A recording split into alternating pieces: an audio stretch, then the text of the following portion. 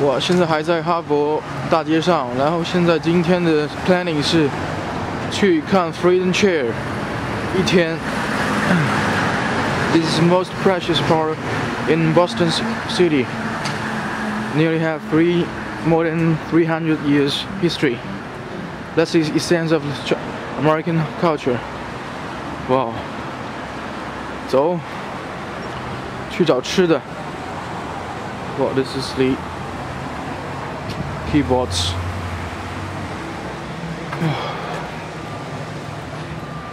Okay.